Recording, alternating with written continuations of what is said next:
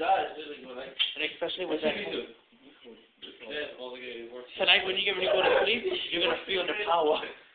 You're gonna feel the power. Fuck